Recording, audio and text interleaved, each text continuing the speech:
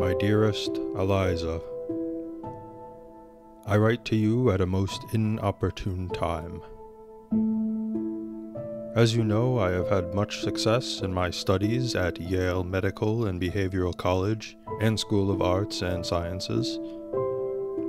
My research has garnered me much success among my colleagues, and my research has done much to help restore limbs and lost tissue and muscle fibers in both humans and animals alike.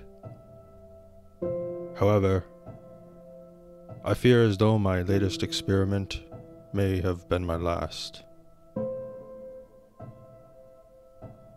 You see, in an effort to combine my medical and physiological expertise and my entrepreneurial spirit, I attempted a new operation.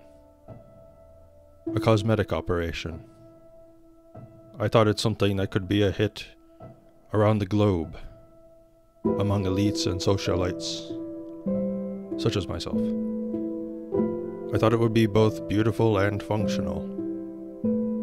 You see, I attempted to implant a watch into my hand I thought it would be stylish and dope as fuck, but instead it just really hurts.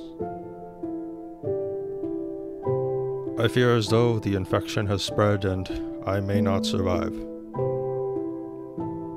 Instead of face the humiliation and degradation of my peers, I will run as far as I can into the woods. My only request is that you do not tell a soul about how fucking foolish I am. I hope to write to you again soon.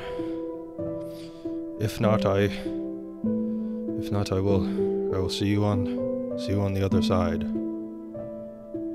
Yours always, Dr. Martin Applewood, Yale Medical and Behavioral College and School of Arts and Sciences, graduating class 1881 MD.